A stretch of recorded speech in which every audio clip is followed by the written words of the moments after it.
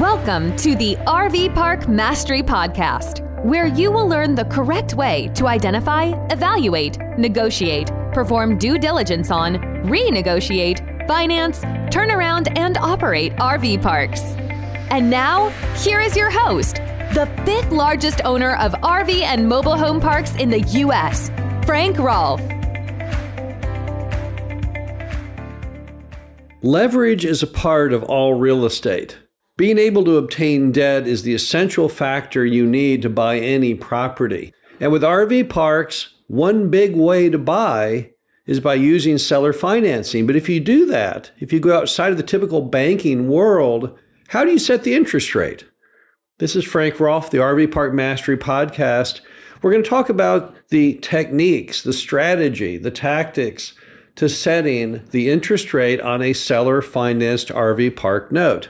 Now, let me start off by saying that we would typically prefer an RV park to be purchased using seller carry more than any other form of debt. We love seller financing. All of our early deals were seller financed. Why is that? Well, number one, seller financing typically is the most stress free. There's no application process, there's no credit scoring. If they like you, you're approved. If they hate you, you're not. But on top of that, you can normally get lower down payments, lower rates, non recourse, which means they can't come back on you if for any reason you'd ever have a loss with it. You get to escape the entire world of banking, which is great, particularly right now in an America that's in such turmoil with banking. When you go with seller carry, you're dealing not with the FDIC institution, but just a nice benevolent mom and pop. So we always want seller financing if we can get it. But there's a few wild cards that might stop you from using seller debt. One would be if you can't get a long enough term. So if mom and pop say, well, we'll carry the financing, but here's the deal we'll only do it for two years or three years. Well, that's not going to do you any good. You can't go back and out in the marketplace and try and get a loan two or three years into the future. You're better off just going out and getting a bank loan on the front end and getting a longer term. But another way things can derail is the interest rate on the loan. So that's what we're going to focus on is how you figure out what the interest rate should be on that seller finance note. Well, the first thing we need to think about is where do we start? What is the benchmark for seller financing? On a bank loan, that gold standard is going to be the prime rate or the interest rate that's set by the federal government. And we've all watched Jerome Powell go crazy with that, right? So since 2022, the Fed and Jerome Powell have gone nuts.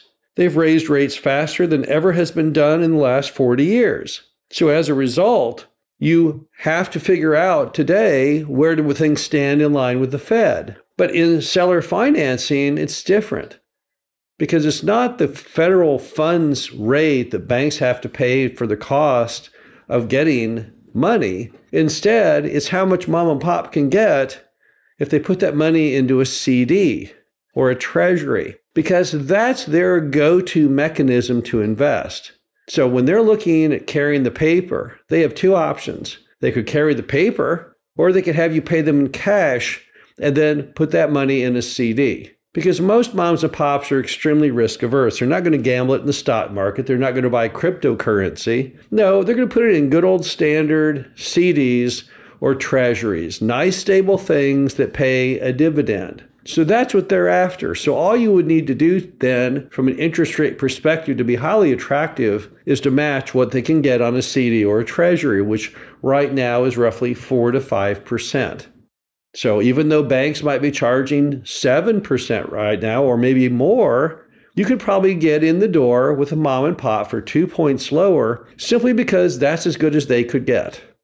So that's the first thing to think about is where do I need to start? Well, you know you want to end up, or you should not have to end up higher than CDs or treasuries. So you should not be paying a seller note amount right now that's greater than probably 5%.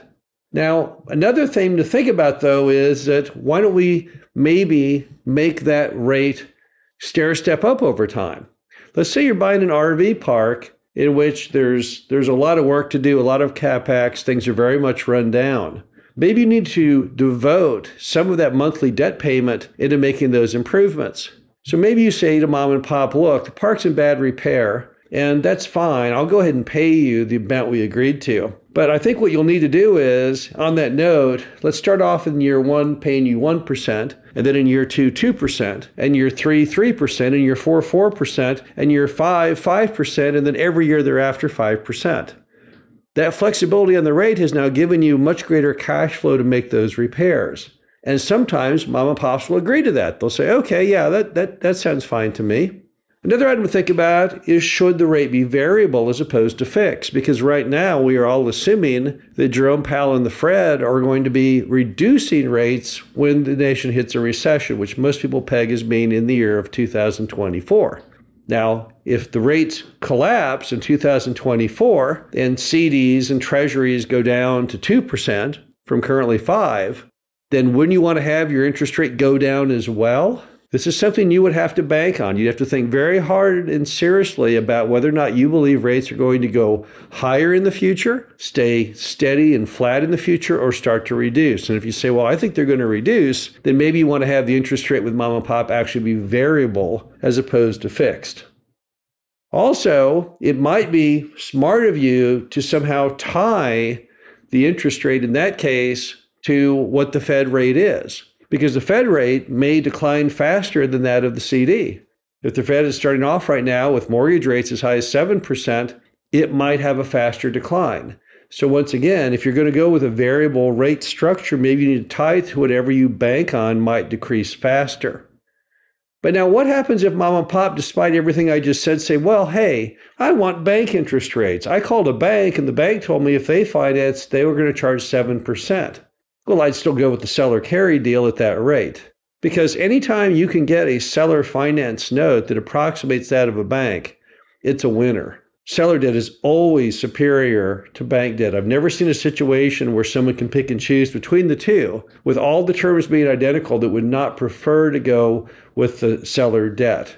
So seller debt always ranks higher. So even if you can't get terms with the seller any more attractive than a bank, you would still go seller. Even if it was the same down payment and the same interest rate, because at least the seller's note is non-recourse. And at least the seller's note is outside of the banking world. Remember, we've seen a few bank failures earlier this year. And if you have a bank failure and a loan within the bank that fails, remember they have the right to pretty much call the notes. They may not say that, but if you read through all the fine print, they pretty much do.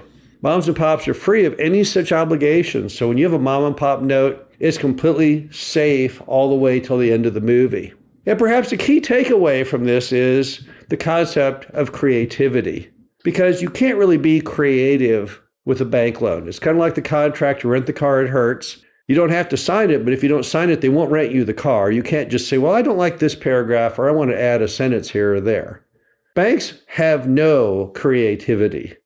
But with moms and pops, you have that ability to make some things variable and to do things differently and to structure every deal as a one time custom crafted, one of a kind object. So perhaps the interest rate could be variable. Perhaps it could stair step.